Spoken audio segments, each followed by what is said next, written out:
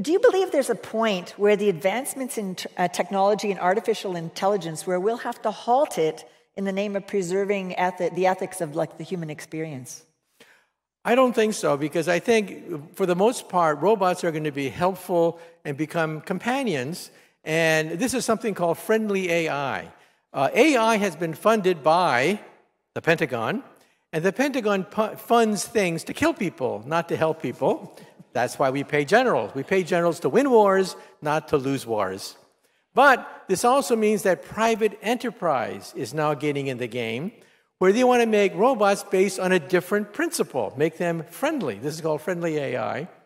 Japan, for example, has a different attitude toward robots. In this country, people fear the Schwarzenegger Terminator robot.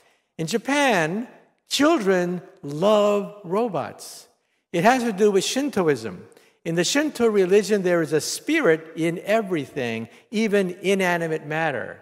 There is a spirit in the robot. There's a spirit in all mechanized objects.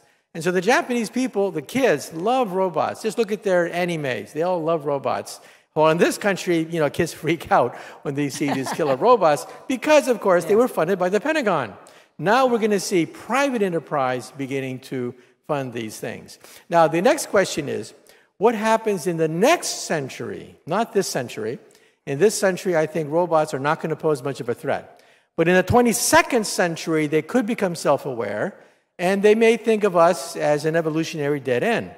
At that point, what do we do? They could remove that chip in their brain, they could remove the fail safe system. So at that point, 100 years from now, I suggest we merge with them. Okay. We become supermen and superwomen, and we merge with our creations and explore the universe with immortal bodies